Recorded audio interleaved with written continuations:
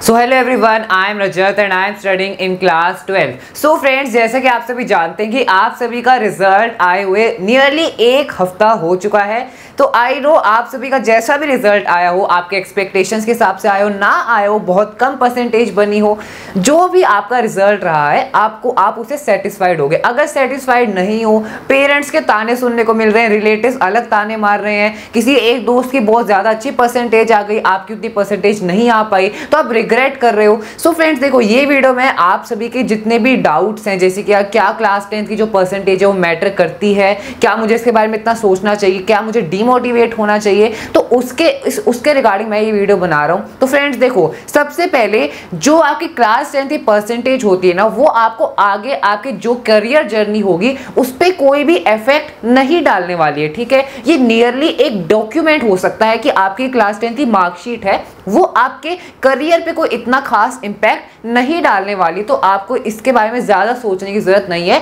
अगर आपकी परसेंटेज इतनी अच्छी नहीं बनी। ऑन दी अदर हैंड अगर आपकी एक्सपेक्टेशन थी कि नहीं, मैंने इतनी मेहनत करी पूरे साल, मुझे अच्छी परसेंटेज चाहिए थी, लेकिन ऐसी परसेंटेज मेरी नहीं आई। तो फ्रेंड देखो, अभी आपका जो पूरा एकेडमिक जर्नी वो फिनिश नहीं हुई है। अभी आप इलेवेंथ करोगे ट्वेल्थ के बोर्ड एग्ज़ाम दोगे तो उसमें अपना बेस्ट देना, जो आपके रिलेटिव के ताने हैं, जो पेरेंट्स कह रहे हैं क्या उसके देखो कितनी अच्छी परसेंटेज आई, आपके दोस्त ही देखो कैसे, कितनी अच्छी परसेंटेज आई, तुम्हारी नहीं आई, तुम मेहनत नहीं करते हो। तो ये जितने भी आपको ताने सुनने को मिले होंगे या मिल रहे हैं तो उनके बारे में ज़्यादा नहीं सोचना है पर्सनली नहीं लेना। सो so फ्रेंड्स देखो, ये क्लास टेंथ की परसेंटेज आपके आगे का जो फ्यूचर है, वो डिसाइड बिल्कुल भी नहीं करती है। ये एक स्टेपिंग स्टोन था जो आपने कंप्लीट कर लिया। ये जो पार्ट था लाइफ का, ये कंप्लीट हो गया है। अब आप आगे अपने फ्यूचर पे ध्यान दो। इलेवेंथ में जो आप जो भी स्ट्रीम लेने वाले हो, उस पर अपना कंप्लीट फोकस कर दो। जैसे कि मैंने इस पर भी एक वीडियो बनाया था कि इलेवेंथ क्लास आपकी बहुत ज़्यादा डिफ़िकल्ट होने वाली है। तो इलेवेंथ क्लास में प्रूव कर दो